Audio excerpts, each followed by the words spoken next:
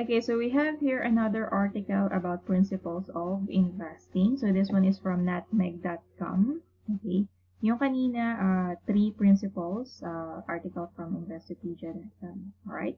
So yung introduction niya dito, the world of investment management can be complex, especially kung, you know, the riskier the assets are or the investments are, medyo, you know, you would uh, require, it would require more knowledge to navigate the waters, okay?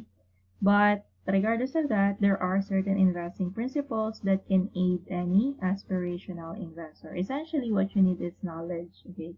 Um, things that you can use to analyze uh, the, what do you call that, the position or the ability or the capability of a particular investment, okay? So regardless of how much money you want to invest, ito daw, six principles na to, will send you in good stead. Okay? So yung first principle niya, remember the trade-off between risk and return. Okay? So you have your low risk, low return, high risk, high return. Okay? For more riskier, more na riskier pa, for riskier investment, so the reason why they offer higher returns then is of course to attract investors. Okay? Um, depending on the type of investors then, so we have three, conservative, moderate, and aggressive. Normally, yung mga riskier assets, ang tina-target nila, of course, ay yung mga aggressive types of investors. And itong mga aggressive investors na to, uh, they are willing to put their money into risky assets as long as yung possibility nga ng uh, return is mas mataas din, of course. Yun lang naman yun. Alright? And then, um, another thing to consider is um, yung types of investments na kukunin mo should, uh, you know, tawag dito, yung, hindi naman sa, uh, ano, ano yung word, so, magsaswak dun sa uh, risk assessment mo. Okay? Kasi syempre, kailangan ay kampante ka. Okay?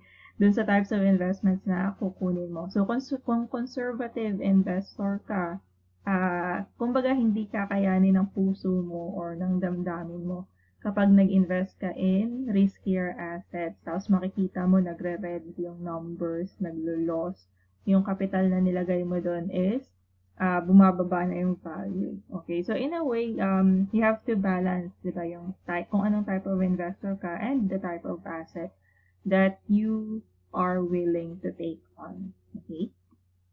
So, kung mag hahanapin, hahanapin mo nga yung balance between the risk and the return din na kaya mong, kumbaga, kaya mong sikmurain. Alright? So, different types of investments tend to have different levels of risk associated with them. So, stocks yung uh, high risk compared to bonds. Tapos, yung mga bonds issued by government, almost risk-free compared to, you know, the bonds issued by private companies. Emerging market stocks tend to be riskier than developed market stocks. Okay, so yung mga nasa PSE, normally mga, you know, vetted na yung vetted companies. Tapos, of course, there are startup companies, um, hindi ganun ka, tawag dito, ka-dependable or ka-reliable uh, yung kanilang numbers and yung kanilang proposals, ganyan. So, riskier. Uh, the higher the risk, the greater potential there is for higher return on your investment. Though you must also understand that the value of your investment may go down as well as up. Okay? Um, ito, one thing to note, uh, it doesn't necessarily mean na high risk yung isang investment is meron lang siyang prob- uh, possibility of higher return. Okay, meron kasing certain types of investments or certain types of businesses na kita mo na na very risky siya, tapos hindi mo makita in what way it's going to provide you with a return. Okay, merong mga certain uh, businesses na gano'n. Okay, and in a way, it's important na for a new investor, alam mo kung paano i-discern yung ganong types of investments. Okay, later, pag-uusapan natin yan. Um, pagdating dun sa each particular type of investment. Okay? Um, what else? Either way, investment portfolios, unlike savings accounts, are designed to experience volatility. When it comes to investments, volatility is your friend. Okay? Kasi in a way, uh, di ba, two sources of income kasi yan, yung dividends or interest, and then the second one is yung uh, volatility in the prices, yung nagbabago yung price, market price no investment or ng security. Either tumataas siya or bumababa. And, of course, nandun lang siya sa, you know, strategy mo on how you can snatch up the investment when the price is low and how you can sell them when the price is high. Okay?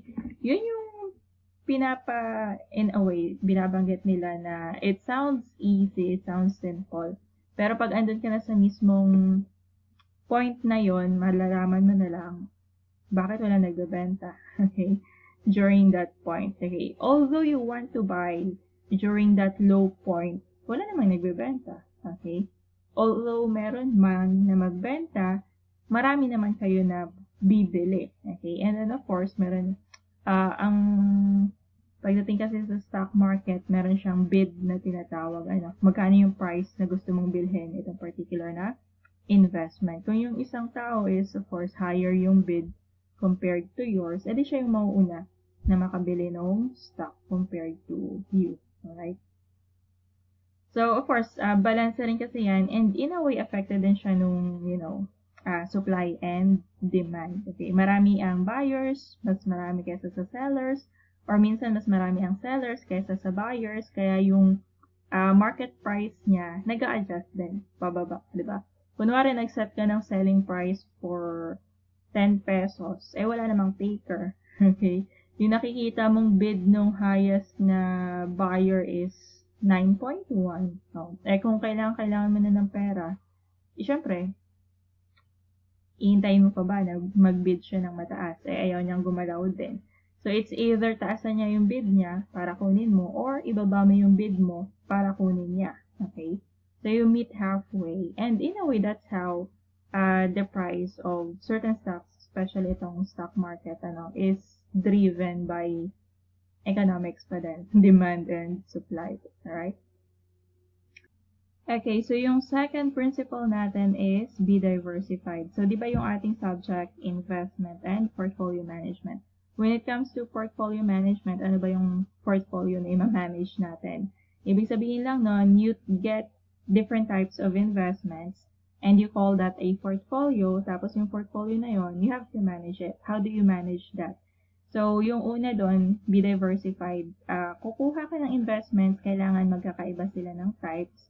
Uh, kung stock market ka man mag-focus, kailangan uh, companies from from different industries ang kukunin mo. Okay? Para yung reaction nila towards a certain situ uh, towards a certain situation is magkakaiba. Okay?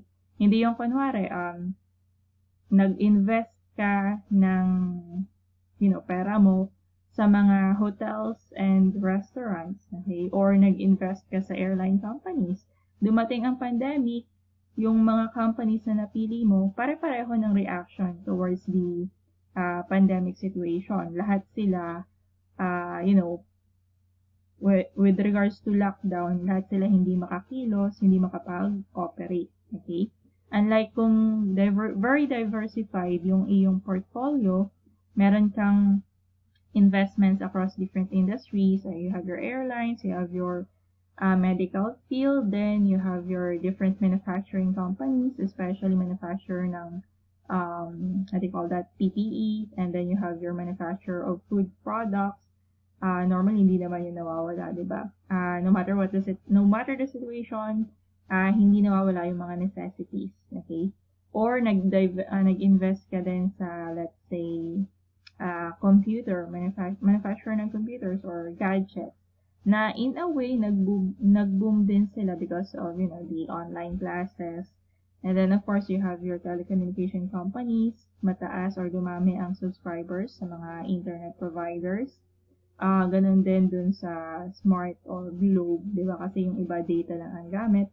And then, um, you also have online sellers. Okay, mga online apps or online platforms na ginagamit ng sellers to deliver their products to the customers. Nag-boom din yan, di ba? Ang dami ng kanila mga naging transaction when the pandemic started. And, you know, nag-prolong pa yung pandemic. So, ayan.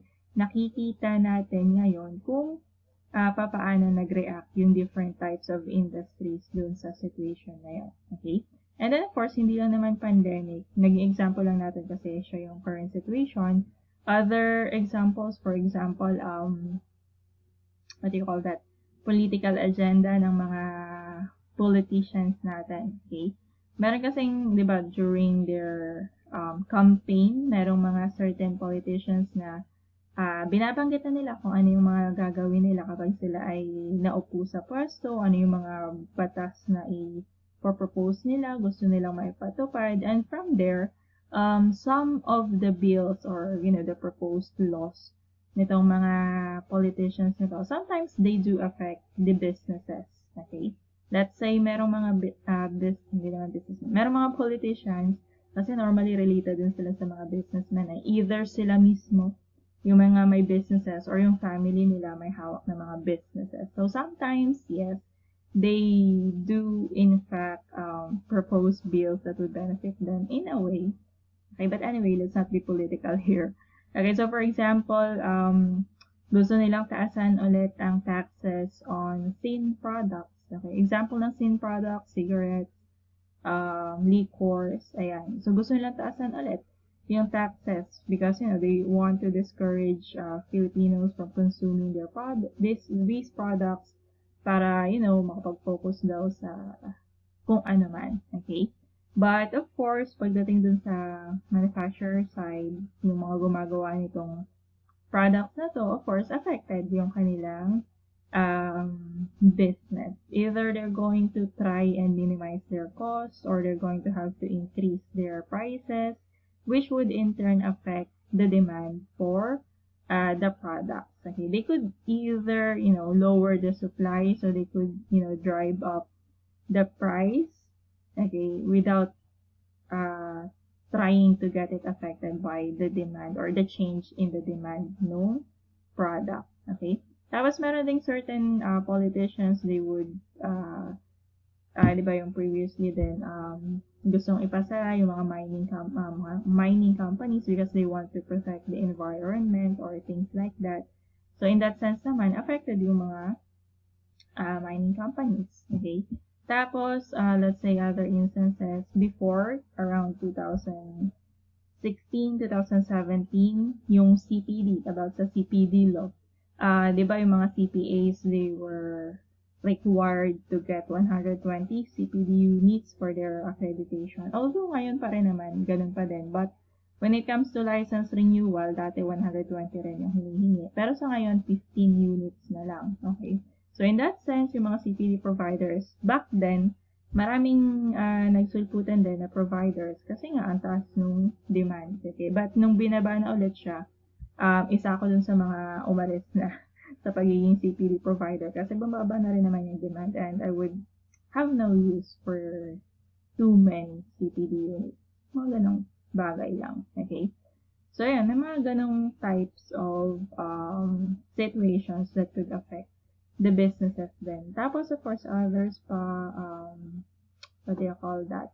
Yung mga changes siguro in uh, social perspective din ng public, ng general public. Uh, for example, mga plastic products, uh, they're trying to be environment uh, conscious, di ba? They're trying to minimize the waste. So, in a way, they're trying to boycott yung mga businesses daw na gumagamit ng too much waste in their product. So, sometimes the businesses are forced to use eco-materials, mga ganyan, eco-packaging or environmental friendly packaging, and whatnot. Okay? Tapos, um, with regards naman sa export or import transactions between countries, so of course, affected yan ang uh, relationship between the two countries and of course, the political situation or politi- political system uh, nung other party. Okay? So, for example, yung uh, I don't want to mention any anything, but uh, merong mga ganun, um, certain countries na hindi kagandahan yung current um, situation politically, okay, uh, government, government-wise. And so, in a way, merong mga countries na, of course, uh, hindi trip or hindi gusto na makipag uh, transaction with those countries because of the uncertainty in their governance or in their political landscape. Okay, so may mga ganun. And again, those would affect the types of investment that are in your portfolio. Normally, sa portfolio management, ano yung nangyayari? Kapag yung isang particular investment is hindi maganda yung kanyang performance at consistent for, let's say, a number of months, ganun yung kanyang performance, pababa siya ng pababa, meron tayong tinatawag na cut loss, ano, hindi mo nahihintayin na tumaas ulit yung price niyan. Ang gagawin mo na is, putulin mo na yung loss mo, hanggang dito na lang yung loss, ibenta mo na yung investment, and then you try to get another investment. Okay? na hopefully, edi of course, by applying certain analysis, knowledge, considering different factors, is uh, you're going to hope that this new investment or the replacement would perform better. Okay, tapos ano naman siya, rinse and repeat. Uh, lahat ng investment na bumubuo dun sa portfolio mo, you have to monitor yung kanyang performance. Kung maganda yung performance niya, edi retain mo lang siya dyan sa portfolio kung hindi maganda yung performance niya, edi sell mo na, palitan mo ng iba. Okay? Or there are times naman na maganda yung performance and you think na hanggang dito na lang siya, yan na yung peak niya. And soon, uh, the price is going to go down na din. So, pwede mo na rin siya namang ibenta. Okay? Kapag yung sa tingin mo is yun na yung pinakang peak ng particular investment na yon. Okay? So, yung, kumbaga, main point nung portfolio management or diversification. Bakit dinadiversify yung isang portfolio. Okay? You have to have investments in various industries na magre-react differently in a particular situation. Kasi kung pare-pareho sila ng reaction, pare-parehong pababa yung kanilang reaction to a particular situation, edi luwing-lugi ka. Okay? Maigi sana kung yung kanilang reaction ay positive edi lahat yan ay kikita. Ano. Pero kung negative, edi login-login ka. Uh, so, normally yung portfolio, what you're trying to do is, for a particular situation, merong magte-thrive, tapos merong mag uh, suffer. Pero yung uh, yung magiging profit ng mga na magte-thrive na investment, saka yung losses ng mga magsa-suffer na investment, they would balance each other out lang. Ano, parang babalance nila And in a way, uh, parang magkakaroon ka pa rin naman ng konting profit. That's the goal. Ano, hindi naman exactly zero kapag nag-counteract yung reaction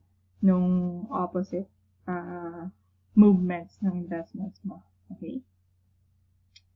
So, ayun.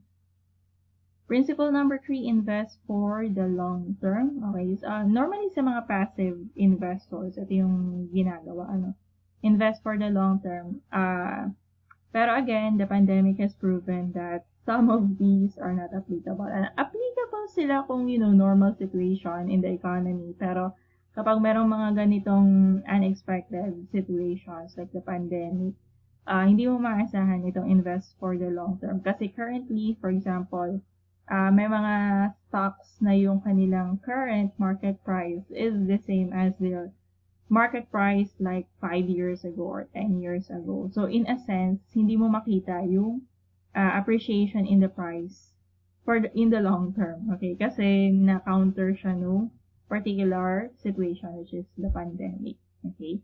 Pero kung wala sigurong pandemic, malamang sa malamang, uh, before the pandemic naman eh, if titingnan mo yung figures before the pandemic, malaki talaga. Malaki yung agwat ng market price ng mga stocks or companies compared to 5 years ago or 10 years ago. Okay, doon mo makikita yung appreciation ng price over time talaga. Okay. Nagkataon lang na may pandemic na. Okay. Principle number 4, rebalance, reinvest. Oh, okay. So, ito yung nabanggit ko kanina na, uh, di ba, you have your portfolio, imo-monitor mo syempre yung performance ng individual investments in the portfolio. Yung maganda, pwede mong i-retain or kapag tingin mo na-reach na niya yung peak, pwede mo nang ibenta para ma-realize mo yung profit. Or kung hindi kagandahan yung performance ng particular investment, i-cut mo na yung losses mo, ibenta mo na. Tapos, hanap ka ng panibagong uh, type of investment kung saan ilalagay mo yung pinagbentahan doon. Okay? So, ayun. Para, kumbaga, minimize mo kasi yung risk din. Ano? And of course, yung portfolio mo should have uh, different types of investments na um, magkakaiba sila na magiging reaction given a particular uh, situation. Okay? Okay, principle number five, keep cost in line with your investment approach. Okay. So, normally, merong standardized, uh, what do you call it? Standardized cost or fees na kailangan mong bayaran when you trade stocks. Or in cases ng other investments, merong, di ba, mga transaction fees, registration fees, mga ganyan. So, you have to also consider, ano, kung magkano yung magagastos mo in uh, the processing or in those other costs in relation to acquiring the investments. Okay? Hindi mo lang basta titingnan yung market price ng isang investment or ng isang stock. Kailangan i-consider mo rin kung magkano yung magagastos mo in commissions, transactions, registrations, ganyan. And of course, yung eventual sale, magkano yung cost to sell mo. Okay? So, ayun. And then lastly, use your tax-free allowances, ISAs, pensions, and much more. Okay? Normally, kapag nilagay mo kasi yung investments mo in, let's say, retirement plan, and uh, retirement plan, some people are looking at it as a type of investment. Ano? So, set aside ka ng pera, use it, uh, put it on your uh, pension plan or retirement fund. Tapos, normally, yung retirement fund kasi is non-taxable. Normally, okay?